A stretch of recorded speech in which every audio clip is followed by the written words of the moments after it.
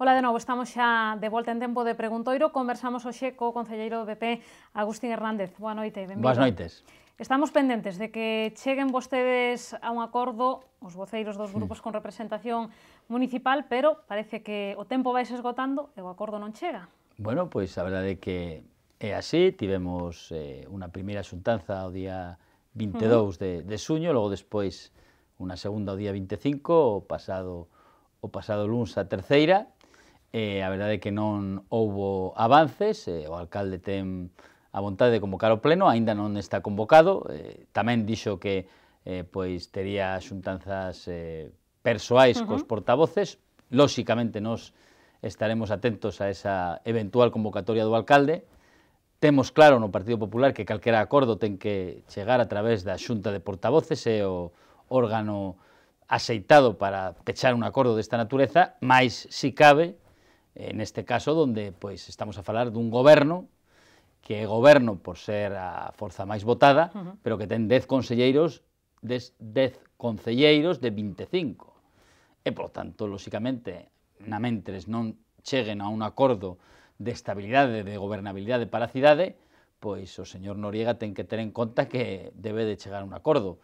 Cuestión que non que non se deu ata o de agora, pero en todo caso, uh -huh. insisto, nos estaremos atentos a esa eventual convocatoria e, por suposto, a falar de todo con todos, porque creo que si agora temos un tempo novo, como, como dice o señor Noriega, se si é o tempo da transparencia, da participación, de que o Concello sexa o reflexo da vontade popular, pois é evidente que o señor Noriega ten escasamente 500 votos máis que o Partido Popular, o Partido Popular ten o dobre de concelleiros, máis do dobre de concelleiros que o Partido Socialista, e o Partido Socialista o dobre de concelleiros que o BNG, uh -huh. e polo tanto non soamente no, nos asuntos que se están a, a, pois, a filtrar na prensa, posto que é certo que o alcalde mais eh, o resto de portavoces acordamos pois manter eh, estas xuntanzas nun ámbito privado, que non segredo, pero sí privado, para non contaminar as negociacións, parece razoable que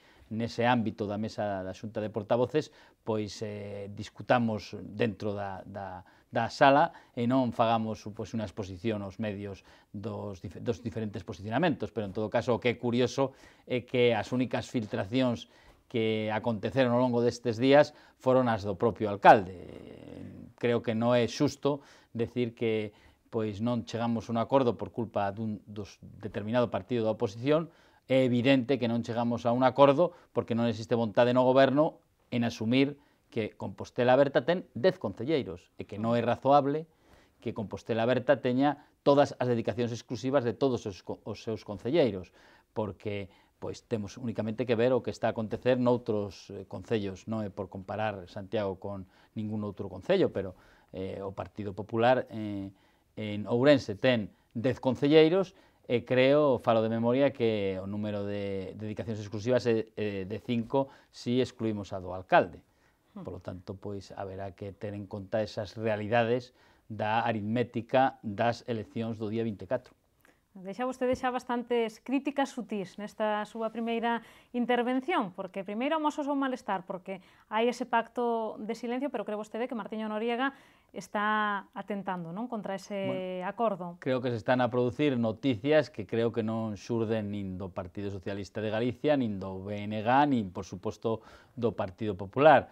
Nos, insisto, non é por oscurantismo, sino é por que creo que todos E tamén teño que pensar que Compostela Aberta temos eh, un compromiso e unha vontade de chegar a un acordo uh -huh. e que é bo que nese ámbito de negociación as negociacións estean na mesa de negociación, valga a redundancia, e non fagamos pois unha exposición pública ao respecto destas cuestións, que non soamente a cuestión dos recursos persoais, é dicir, das dedicacións exclusivas ou do persoal de confianza que poidamos ter nos diferentes grupos eh, municipais, sino que tamén son cuestións importantes ao respecto, por exemplo, das comisións informativas, os presidentes das comisións informativas que preparan o pleno, a, o número de concelleiros ou a forma de votación nesas comisións, porque nós creemos que o lóxico e o razoable é que as eh, votacións nas eh, comisións informativas resposten á proporcionalidade que existe no Pleno, ou, por exemplo, tamén a representación do Concello nas diferentes entidades, nos diferentes, uh -huh. nas diferentes empresas que dependen do propio Concello, pois donde tamén temos que falar ao respecto de trasladar a esas sociedades, a eses órganos colexiados, a representación que ten a cidadanía no pleno do Concello de Santiago de Compostela.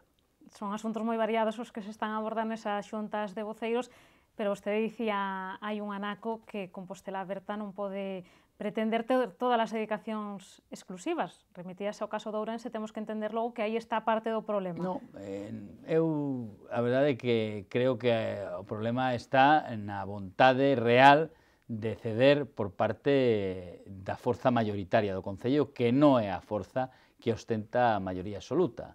Por lo tanto, se si non ostenta a maioría absoluta, lóxicamente ten que eh, pois ser eh, con, eh, consecuente e consciente da súa, eh, das súas limitacións.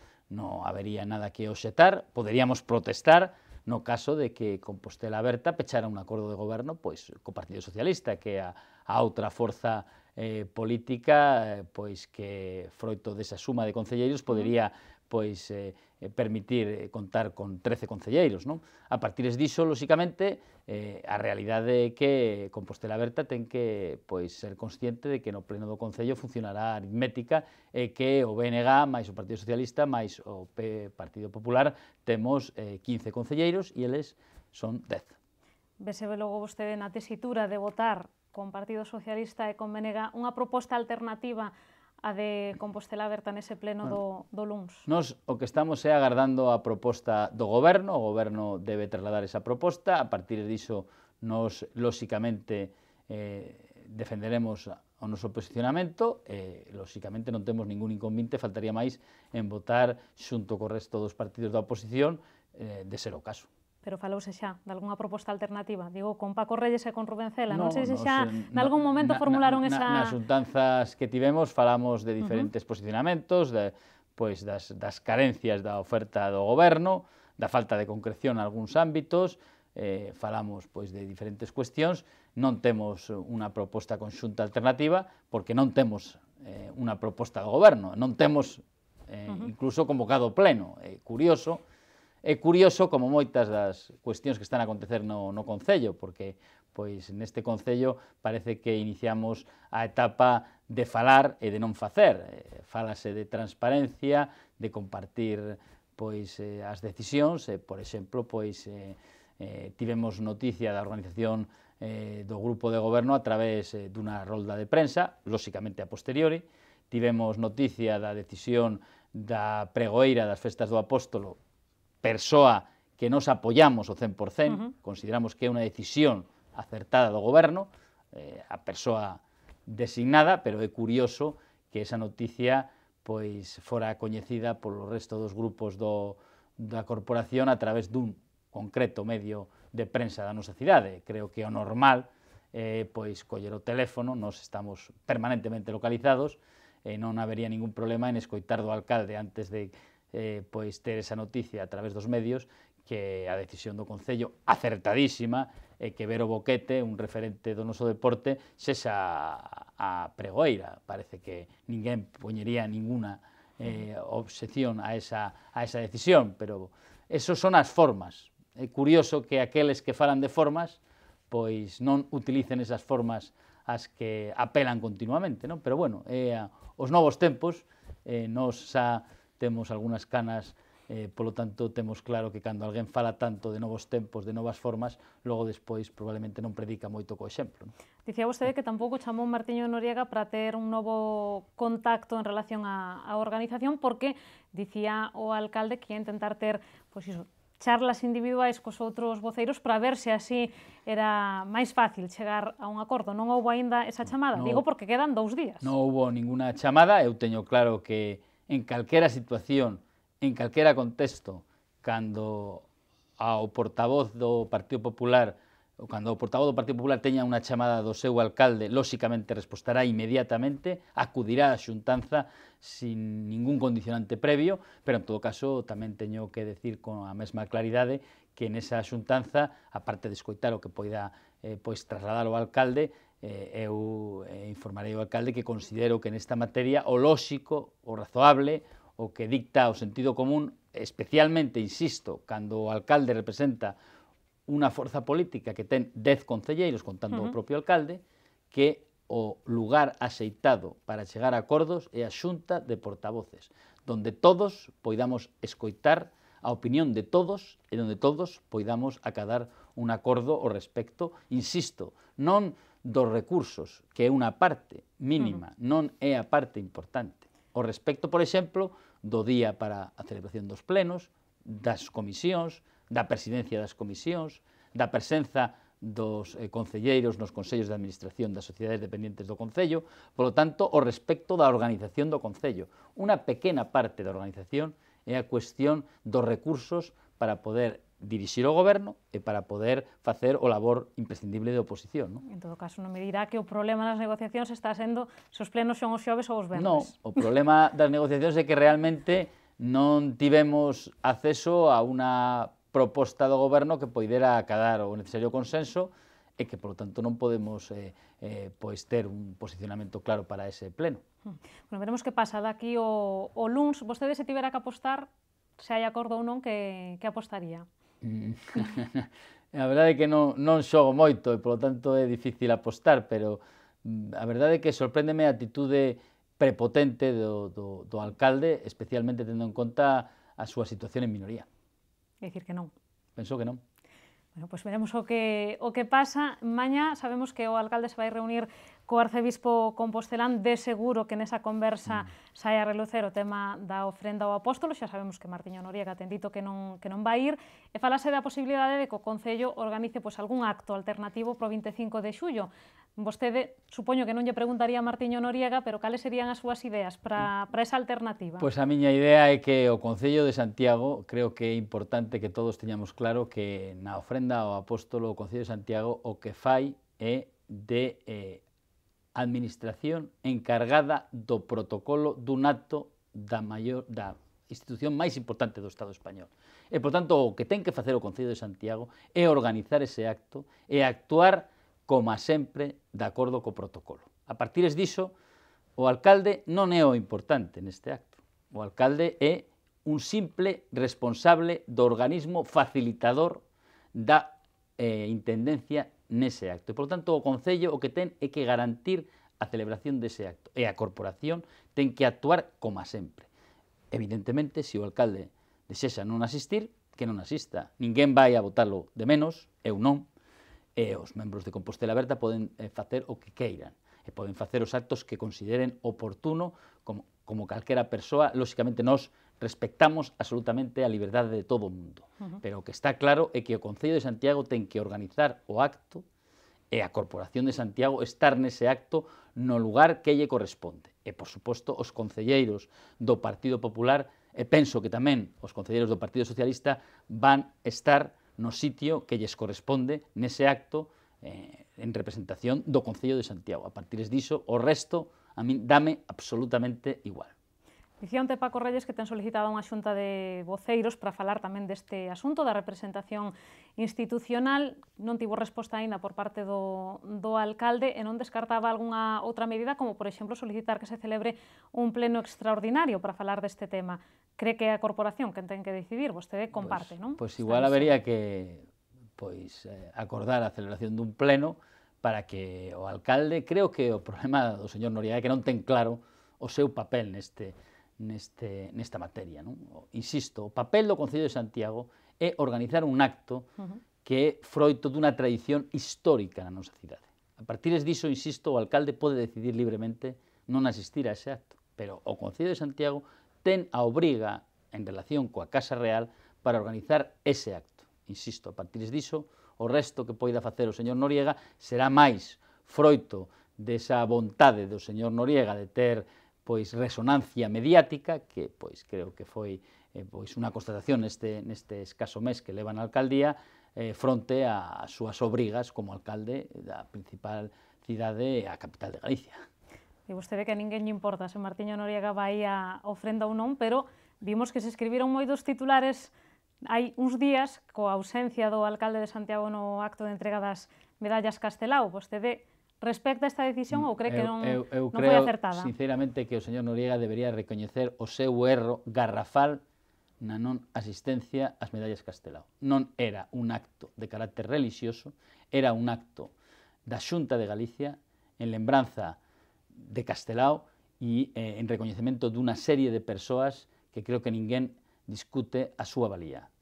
A partir diso, creo que, pois, eh, froito de serro, o señor Noriega pretende justificar o mesmo a través dunha imposibilidade con motivo da xenda. É curioso que non tiveran oco na súa xenda ningún dos dez representantes de Compostela Aberta, porque ningún estaba nese acto, e incluso que diga que foi como consecuencia da, eh, da súa disconformidade co discurso do presidente. É curioso, ou ben o señor Noriega coñecía o discurso do presidente da Xunta, cuestión que dubido moito antes da celebración do acto, ou ben é evidente que eh, ese non é un argumento que se poida soster, posto que ninguén dos que estábamos nese acto coñecíamos as verbas do presidente. Obviamente, o alcalde de Compostela é libre de criticar as verbas do presidente da Xunta pois no momento que remate o acto.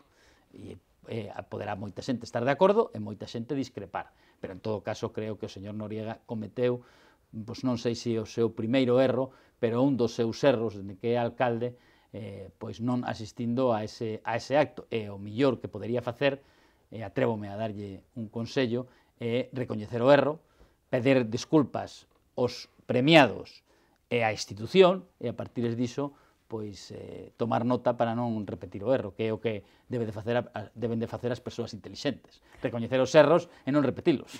O alcalde non se, re, non se refería en concreto tampouco ao discurso do, do presidente, falaba en xeral de que estes actos pois están un pouco sendo utilizados partidariamente polo Partido Popular.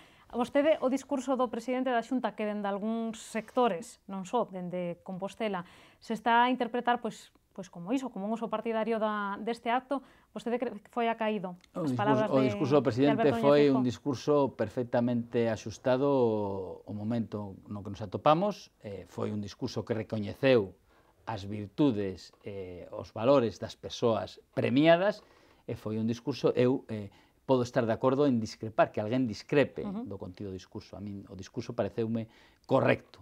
Eh, en todo caso, o alcalde de Santiago, de ser o caso, e de asistir ao acto, podería manifestar a súa discrepancia con contido do discurso.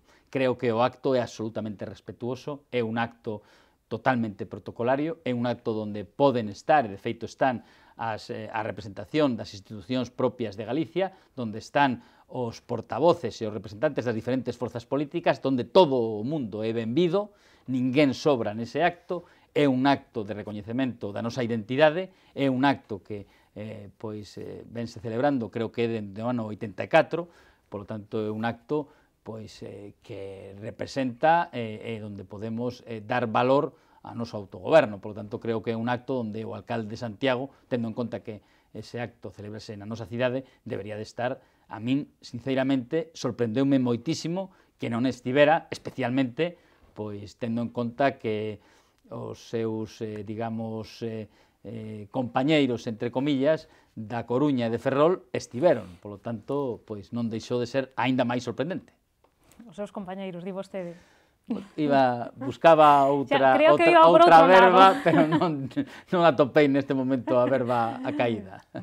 Eh, dicía que O presidente da Xunta vai se reunir próximamente co alcalde de Santiago, terán ocasión de limar estas asperezas, quizáis? Bueno, estou seguro que o presidente da Xunta trasladará ao alcalde de Santiago eh, a vontade da Xunta en seguir colaborando, non teño ninguna dúbida. Tamén estou seguro que trasladará o alcalde de Santiago os eh, moitos proxectos nos que a Xunta de Galicia está apostando pola nosa cidade, E non teño ninguna dúbida, posto que é a súa obriga, que o alcalde trasladará ao presidente da Xunta as demandas que teña ao respecto da nosa cidade, cuestións nas que, que teña claro o señor alcalde que contará co apoio do grupo mm, do Partido Popular no Concello para acadar eses objetivos e para que a Xunta siga apostando pola nosa cidade. Bueno, pues veremos en que dan de sí os próximos días que se presentan moi activos no Concello de Santiago. Estamos aínda ca vista posta no, no pleno do, do LUNS, a ver que pasa finalmente. Moitísimas grazas, Agustín, como sempre, por acompañarnos. Grazas a ustedes. Pois ata aquí chegou o noso tempo neste preguntoiro. Como lle recomendo sempre, sigan informados a través das novas de Correo Televisión. Vémonos mañá. Moitas grazas por estaren aí.